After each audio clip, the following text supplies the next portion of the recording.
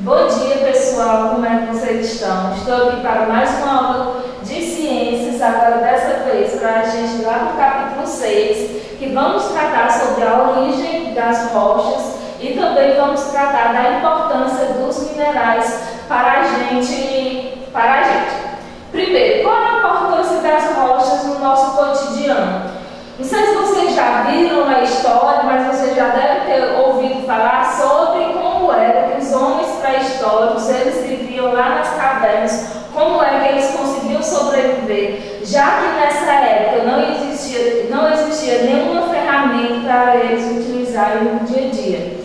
Bom, esses homens pré-históricos eles usavam principalmente as rochas para poder fabricar os seus utensílios para eles poderem caçar, para poderem tratar a carne, para poder construir algum, alguma espécie de fogão improvisado para poder assar essa carne para depois se alimentar. Não apenas na alimentação, mas também diversos outros usos, ele, os homens das cavernas utilizavam as rochas. Por exemplo, é, existe um tipo de inscrição que esses homens faziam chamado pinturas rupestres, onde eles é, pintavam nas rochas, seja em cavernas, é, diferentes, como era sua, o seu cotidiano é, naquela época. Eles, eles retratavam suas formas de vida, como era que eles faziam a caça.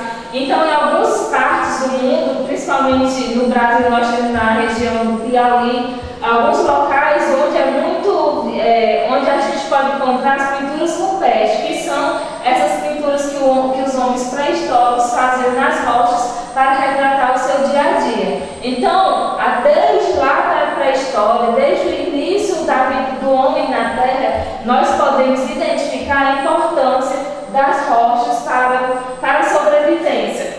É, atualmente, elas são utilizadas em diferentes partes da nossa vida em diferentes aspectos. Por exemplo, nós podemos encontrar um tipo de rocha chamado granito nas mesas, podemos encontrar mármore que formam as, as pias, que é utilizado para a produção de pias, e vários outros tipos de. Em várias outras situações, nós podemos observar o uso de rochas nas construções de moradias. Até hoje, é, essas rochas são importantes para a construção de casas também do, do asfalto, do piso das casas. Então, é muito importante, elas são muito utilizadas é, desde o tempo da pré-histórica até da, desde o tempo pré-histórico até os dias atuais.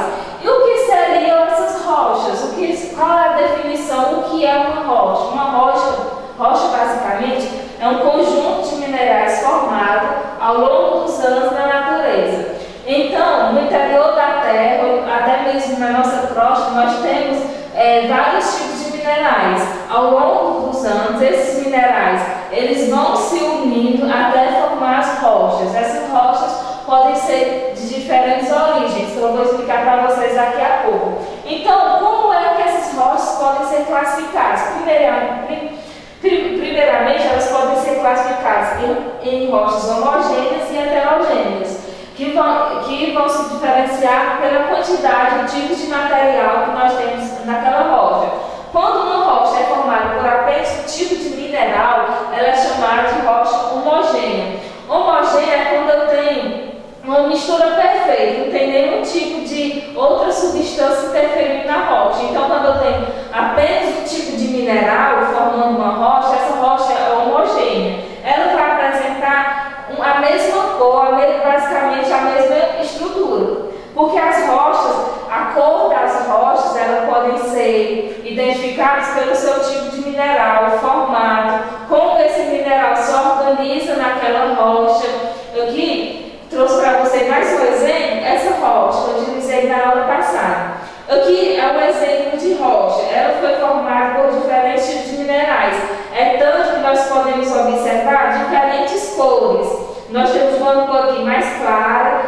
nessa superfície uma cor mais escura. Esse, esse tipo de observação é clássico de um tipo de rocha formada por mais de um tipo de mineral, que são as rochas heterogêneas. Então, nas rochas heterogêneas, nós vamos ter a presença de mais de uma cor, esses, os minerais vão estar é, organizados de diferentes formas nessa rocha. E o que são esses minerais? Já que eles formam a estrutura básica de uma rocha. Então,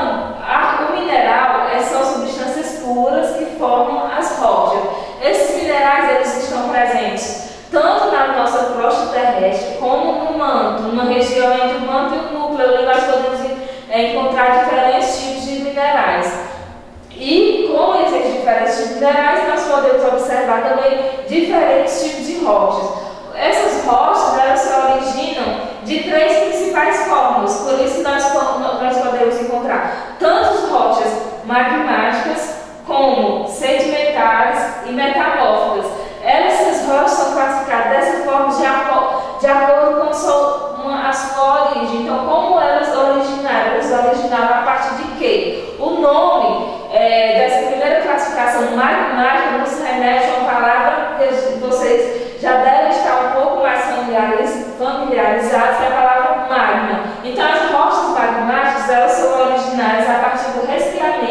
e da solidificação do magma. Lá, quando eu tenho a presença de um, de um vulcão em erupção, eu tenho ali o magma saindo daquele vulcão para, indo para o solo e com o passar do tempo, esse magma que está em uma temperatura muito elevada, ele vai resfriar. Quando ele resfria, ele fica sólido. Essa tem esse, essa estrutura mais, mais dura. Isso significa que ele está, que ele sofreu um processo chamado de solidificação. Então, as rochas magmáticas elas se originam a partir do resfriamento e da solidificação desse magma. É, esse, o resfriamento desse magma pode acontecer em dois ambientes, tanto no solo, como eu acabei de falar para vocês, quando a lava de, um, de um vulcão que entrou em erupção é, se resfriou e se solidificou ali fora, então quando ele, ele acontece dessa forma, é chamada uma rocha magmática extrusiva, que aconteceu fora da estrutura interna da, da Terra. Então, é, quando já, enquanto as, as rochas intrusivas elas acontecem quando o magma se resfria e solidifica ainda lá dentro da Terra, na estrutura interna da Terra. Já que eu tenho ali no manto a presença de magma, em diferentes regiões pode acontecer o resfriamento e a solidificação desse magma e vai dar origem a diferentes tipos de rochas. Por exemplo, é, é, rochas classificadas como rochas magmáticas intrusivas. Além disso, nós temos outra classificação, que são as rochas sedimentares. A palavra sedimentares nos remete uma palavra sedimentos. É, os sedimentos, por exemplo, podem ser observados, é, podem ser aqueles grãos de areia que a gente observa em várias partes tem, está acontecendo alguma construção, ou então quando a está andando sobre um solo que não é asfaltado, tem vários grãos de areia, como pode acontecer os grãos de outras estruturas.